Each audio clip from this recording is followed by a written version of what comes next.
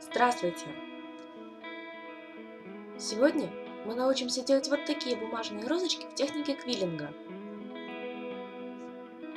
Для этого нам понадобится цветная бумага, клей, ножницы, зубочистка или инструмент для закручивания рог. Берем цветную бумагу, берем линейку, отмеряем полтора сантиметра и делаем небольшую засечку. Также делаем с другой стороны. Проводим легкие линии, намечая линию среза. Берем ножницы и отрезаем нашу полоску.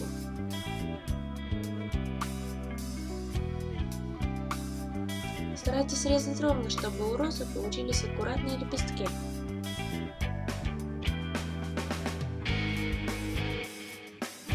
Отлично, наша полоска готова. Карандаш можем убрать. Теперь берем зубочистку и прикладываем ее к самому краю. Постарайтесь сделать это как можно ближе, чтобы бутон получился аккуратным. Начинаем закручивать. Немного закрутив край, берем клей. Должно получаться так. Слегка закрепляем середину нашего бутона, чтобы роза не распалась. Продолжаем закручивать.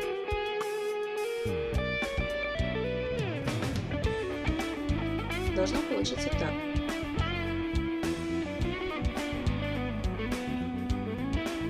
Теперь вкладываем нашу полоску под углом 90 градусов продолжаем закручивать, поворачивая зубочистку с бутоном по линии изгиба.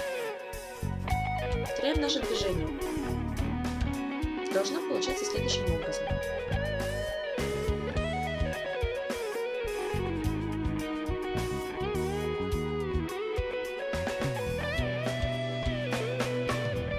После повторения этих шагов у нас должен получиться вот такой бутон.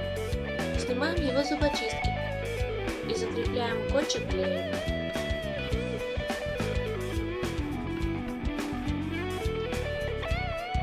Оставляем розу подсыхать.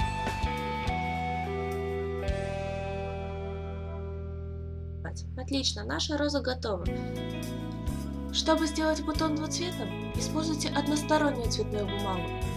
Чтобы роза была однотонной, используем бумагу, окрашенную с двух сторон.